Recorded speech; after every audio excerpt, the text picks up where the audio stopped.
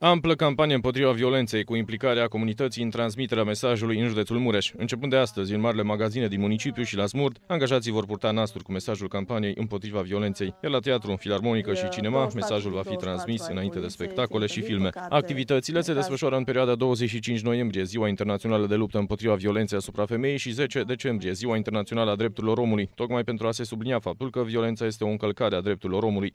Fiecare dintre noi să fie un asture, să aibă grijă de el și de cel din jurul lui.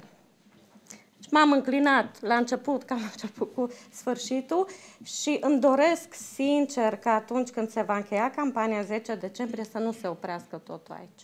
Scopul acestei campanii este sensibilizarea și conștientizarea comunității mureșene privind violența în familie și nu numai, precum și asupra consecințelor. Nu ne-am gândit că așa de multă lume va fi Uh, nu doar că va adera la această campanie, ci va fi încântată. Ne propunem să aducem iar în atenție faptul că există servicii și oameni care pot ajuta și că nu este rușinea victimelor și ele trebuie să facă un pas. Dacă nu ele, poate prietenilor, dacă nu copiilor. În paralel cu această campanie, organizația Salvați Copiii Mureș derulează campania Stop Luptei de Acasă, al cărei scop este să combată acest fenomen mesajul campaniei noastre prin intermediul campaniei uh, uh, pe care o lansați astăzi, va ajunge în familiile din uh, județul Mureș și eu sper ca să putem să ajutăm cât mai multe mame, cât mai mulți copii și, de ce nu, întreaga familie.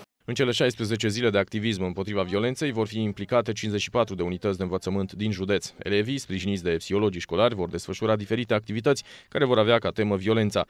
Zimnic uh, întâlnim uh, cazurile disperate și o armată de specialiști sunt implicați în a soluționa anumite probleme ale copiilor și familiilor. Um, cred că este moment, așa cum spunea și doamna Pâncă, Gabriela, că Um, încă există um, nevoia unei schimbări de atitudine. Potrivit datelor furnizate de IPJ Mureș, aproximativ jumătate din infracțiunile judiciare înregistrate se referă la violență sau amenințări cu violența.